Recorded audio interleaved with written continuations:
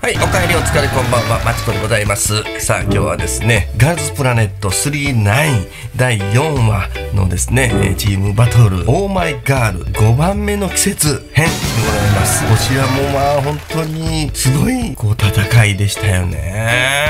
まあ、ご覧になった方はね、本会かと思いますけど、まあご覧になられてない方もいらっしゃるかと思いますけれど、あのね、私のこの動画チャンネルでね、見てたらね、大体の内容は分かってくるかと思うんですけども、まあこれを見た上でね、やっぱりね、あの、YouTube でしたらね、見れますんでね、ぜひとも見てください。そして生でやっぱり見たいと思ったらですね、アベマ、え TV ね、えこちらの方で、あの、オンタイムでしたら無料で楽しめますので、ぜひこちらもね、ご覧いただきたいなと本当に思うわけですよ。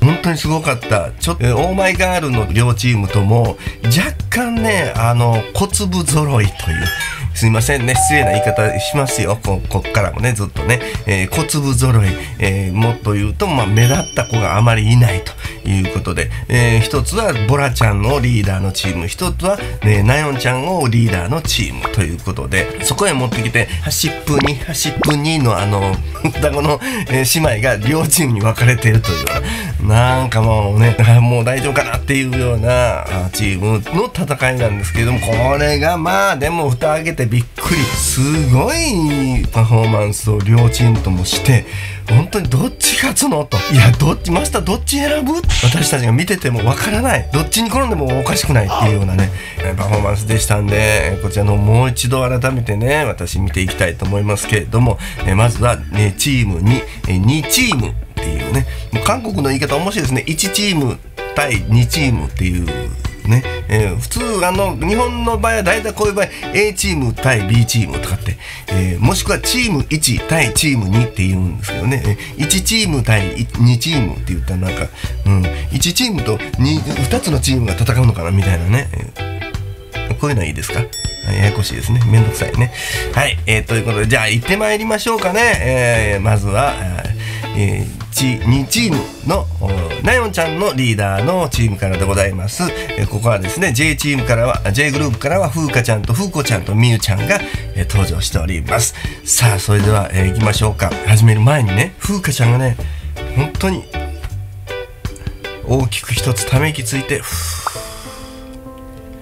頑張ろうっていうね、美しいあのあのいやもうね全部このねこのドラマこの番組こういうね番組の素晴らしさがあの一瞬に集約されてたと思いますね。うん、ぜひとも皆さんもう一度見ていただきたいあのシーンそして、えーね見たことない人はまあ見ていただきたいと思いますけどもそのあたりからちょっと私ももう一回見返してみたいと思います。オーマイガールチームにあにチームのパフォーマンスです。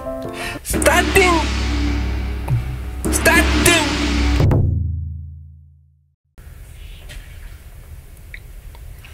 ンあここ。頑張ろう。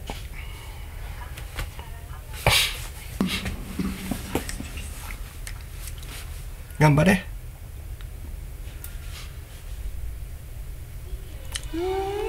始めた。きれいきれい風子ちゃんもいいのよ。本当に。すごい。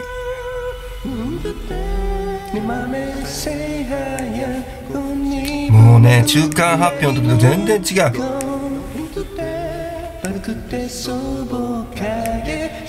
これ風子ちゃん。めちゃめちゃ綺麗なんやけど。チャオちゃんね。チャオちゃん上達した。ジョンミンちゃんか今のは K グループ。はいメイちゃん。うん。風花ちゃん。風花ちゃん。あれは？スーチンちゃん？そう。風子ちゃんいい。難しいよこの曲。この子はあハウンちゃんね。綺麗綺麗。ジョンミンちゃん。さあなよちゃんです。頑張った。なよちゃんもね本当にリーダーとして頑張りましたよ。うんこちゃんどうした？ちょっと声が。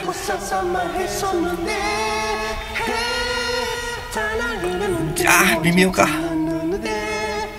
うんかちゃんみゆちゃん。うん。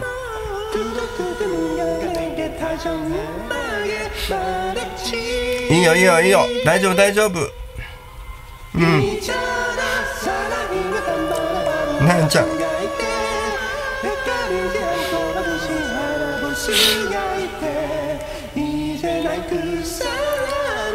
いいんだな本当に風子ちゃんがちょみちゃん。すごいよ。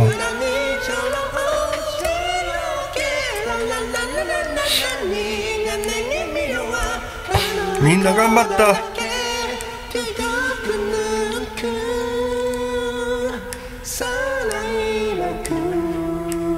ああもう風花ちゃん最後もうセンター。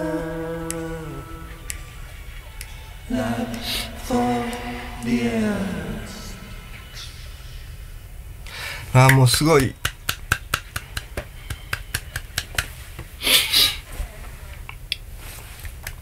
素晴らしいすごい良かったです。みんな可愛いし綺麗綺麗うん。よく頑張った。うん。若干のね音程のまあちょっとフラッとしたみたいなところもねありましたけれどもまあしゃあないですよね。まあそのまあしゃあないって言ったらあかんのかな。でもここまでよく頑張ったなとあの中間発表の時点もボロボロですよ。あのボラちゃん率いるね1チームのやっぱりこう進展の速さそしてまとまり具合っていうのを横目に見ながらレッスンしていってもうどんどんどんどん自分たちは自信を失っていく。うん。でそんな中でナヨンちゃんはもうプレッシャーがどんどんどんどん大きくなっていく。そこで迎えた中間発表のところでやっぱボロボロになる。でもやっぱりそこでねあのまあ、その時点での、えー、自分たちのうんベルというのをね再確認してそしてライオンちゃんがそんな苦しんでたんだってもう薄々は感じていただろうけれども、うん、なんかどっかでこうメンバーとしてはもううちのメンバーはしっかりしないなそれに比べてボラちゃんはすごく明るくてなんかまとめてくれてるしみたいなところももしかしたらメンバーの中にもあったかもしれない。だからねメンバーもどっかの心どっかでそんなね風に思ってる子もいたかもしれないですけどそのね中間発表の時にやっぱり、えー、ナヨンちゃんがもう本当にしんどかったんだなっていうのをメンバーメンバーも改めて気がついてみんなで力を合わせてやっていかなきゃってそんなに負担が大きかったんだっていうふうに思ったからまたそこからみんなで一丸となれたんやと思いますしね。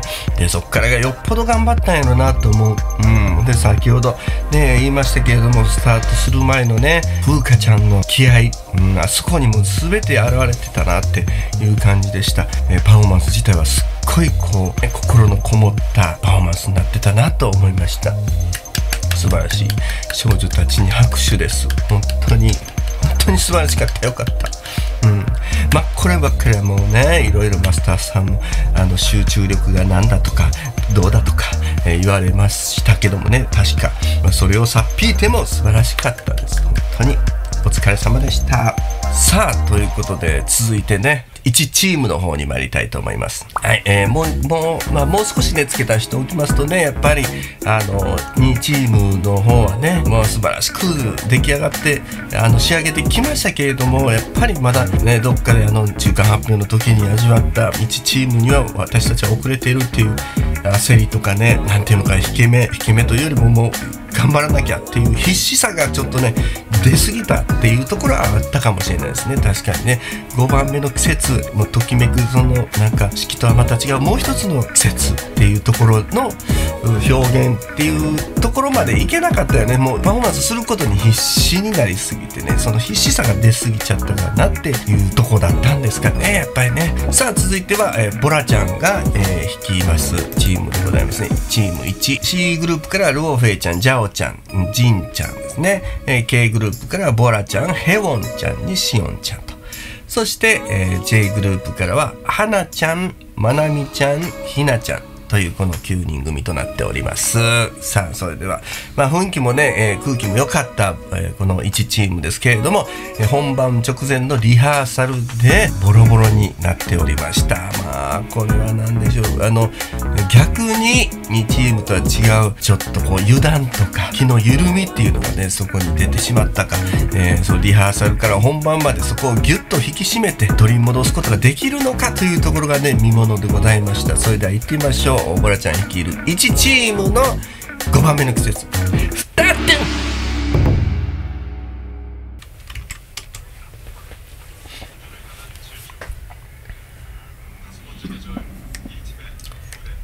頑張ってほしい、始まりました。うん。じんちゃんからかな。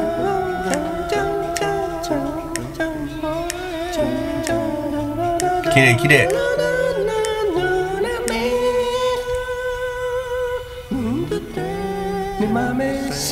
じんちゃん。ドゥオフェイちゃん。C グループからスタートですね。はなちゃん？まなみちゃんか。うん。じゃおちゃん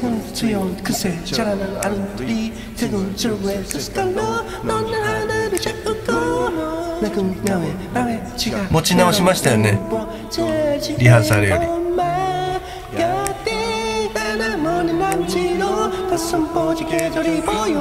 花ちゃんね。う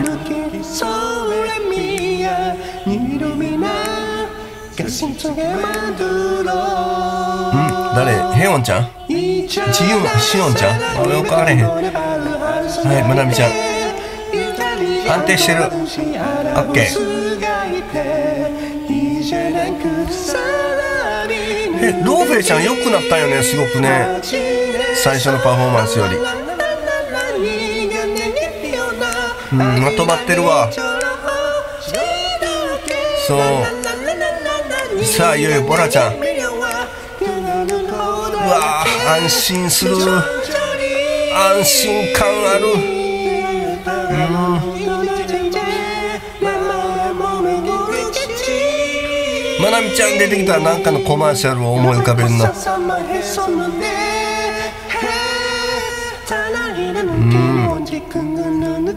はいはなちゃん。じゃおちゃん。いいね。大きなミスないですよ今ここまで。いいなボラちゃん。はいはい。素晴らしい。うん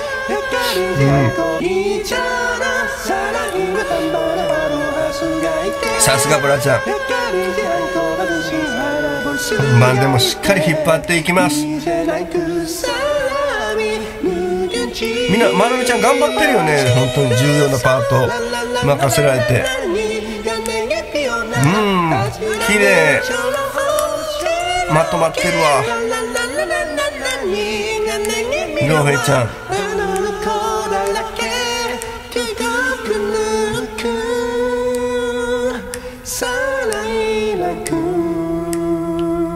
花ちゃんもよかった。うん。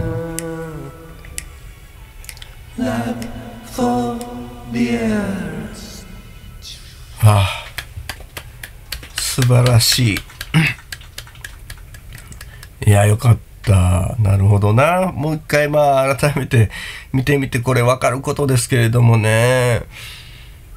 うーんえー、ナヨンちゃんチームもね頑張りましたけれどもこうして改めて見るとこのボラちゃんチーム全体的に非常にまとまってるし安定感もあるし大きなミスとかそういったものが目立ってなかったです、まあ、多少のね多少のブレとかねちょっとあもうちょっとこういったここでパッと出たらよかったなっていうとかあるけれども全然もう気にならない程度で。チーム本当にねチームとしてまとまってたな。そういう私の感想でございます。これはもう失礼なんですけれども出場しているね少女たちにはやっぱりなかなかこのチームと先ほどのチームもそうですけど、えー、名前と顔がねまだまだ一致できないと覚えきらないような状態なんでそれだけあの、まあ、番組でも多く取り上げられていないというところがあるんですけれどもだからみんなちょちょっとなんか勝手にです画面越しで見ている私らにしてみたら小粒な人たちが集まってる。ちょっと地味な人たちが集まってる。みたいに感じる受け取っているわけですよ。どうかな？そんな子たちがって思ってたんですけども実際パフォーマンス見たらも素晴らしい。非常にもう安定しててまとまっててチームとして素敵なパフォーマンスに見せていただきました。これ難しいな。ステージ上のパフォーマンスだけ取ったらやっぱこっち、えー、ボラちゃんチームすごくまとまっててよかったし、えー、かといってナヨンちゃんチームからはやっぱり私もすごく感動を得ました。感動人に感動を与えるっていうことはもう非常に大事なことですからね。ただそれはいろんな今まで裏側を知ってるから得たことでもあるわけで本来ならばそれを知らなくてもそのステージだけで何かをボーンと訴えるものがあるっていうのが、まあ、基本ね、えー、なんですね。そこをやっぱあまり評価のポイントに入れてはいけないところですよね。そこはもうシビアに冷静に見なきゃいけないということなんで。結果2つの対決はボラちゃんチームの勝利ということになったわけですね。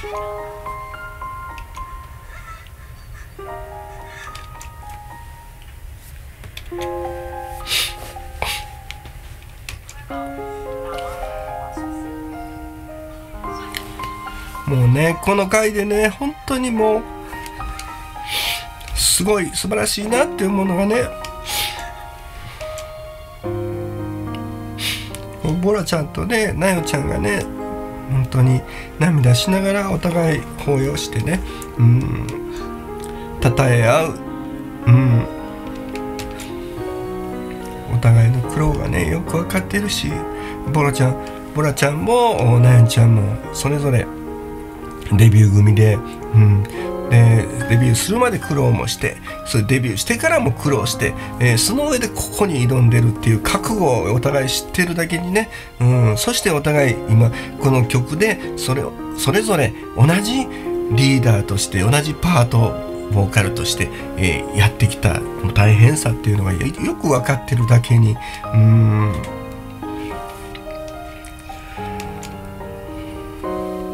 美しい。美しい。うん。どないかしてほしいな。これボラちゃん。まあボラちゃんチームはねこれでまああのまあほぼ大丈夫。だと思います。もう安泰ですけどもね。まあナヨンちゃんチームがどうなるかっていうところなんですよね。これ今今後の投票次第でねナヨンちゃんチーム、えー、セルで言うとナヨンちゃんとメイちゃんと風花ちゃん。ここは残ってほしいな。でもな風子ちゃんとなジョンミンちゃん。シャチャオちゃんもな頑張ったもんな。いやーこれむずいな。むずいなっていうか辛いなどうしたらいいの？なあまあみんな一生懸命頑張ってね。これはもうやってるんで。かといって全員残すわけにいかないんでね。これはね。いやもう第4話にして本当にこのオーディションの辛さ、まあ、ある意味残酷さがね、ひしひしと感じますね。まあ、それはまあでも、その先には彼女たちの大きな夢が叶うというものがあるので、うん、それに欠けてるわけですから、あかんな、辛いな、今後、どんどんどんどん辛くなっていきます。さあということでございまして、えー、もう意外や意外、えー、オーマイガールの5番目の季節バトルはですね本当に素晴らしい、えー、バトル戦いになりました。パフォーマンス、えー、1チーム2チームともに素晴らしかったです。本当に拍手を送りたい、えー、できることならみんな残ってほしいなと思うぐらいでしたけれどもそうはいかない。そうはいきません。うん。そうはいきませんな。そらな。全部残すわけにいかへんからね。じゃああのマチコこのその人らに入れたれよ投票っていうね。お声もあるかもしれません。それはあるでしょうけれどもね。私だって投票権は限られてるわけですから1日1回しかないからね。あもうでも投票終わったもんね。投票終わりましたからね。だからその20締め切り24時間まではもう絶対推しにボーンって入れるでってなってたけどもしそれが先があんねやったら毎日違う子にこれどんどんどんどん入れていきたいなって思うぐらいでしたわほんまに。今後どうなるよまたこの今1回締め切られたけどまだ投票は再開するんですかねやっぱり、うん、ここで終わりってことはないですよね、まあ、今後のまたあのシステムというかね戦い、どういう風に展開していくのが気になるところですけれどもその前にまだまだ残っております。いよいよ次回はですね次回ねあのもう東 TV のね、えー、マチコの次回は BBS 男性、えーグループのバトルと。いうことになってきますので、えーこちらも大変でございます。いろいろ大変でございます、えー私も大変でございますんでね、えーそれもちょっと気にしながら見ていただければと思います。さあ東 TV の、えーチャンネルオリジナル音源はですね、えー今から、えー録音ということになりますので、えーどうなることやら難しいねほんまにフェイスタもそうやけどこのオーマイガールもどうしようと思ってます。はい、えーということで、えー今日はですね、えーオーマイガールのバトルを見ていきました。はい、次回もまたお楽しみにえーしていただきたいと思います、えー普段はですね20のお話なんかが多いんですが TWICE ちゃんやこういった K-POP オーディション番組なども取り上げてやっておりますのでチャンネル登録まだですよという方はぜひともチャンネル登録ポチッと押しておいてください。それから、えー高評価ボタンもグッと押しておいていただけるとですね、えーいろんな人に見てもらえる機会が増えるということですのでグッと押しておいてくださいね。でもグッグッと押したら消えてしまいますからグッもしくはグッグッグッって押しておいてください。はい。よろしくお願いします。おかえりお疲れこんばんは。まちこがお送りしました。また次回の動画でお会いいたしましょう。ごきげんよう。さよなら。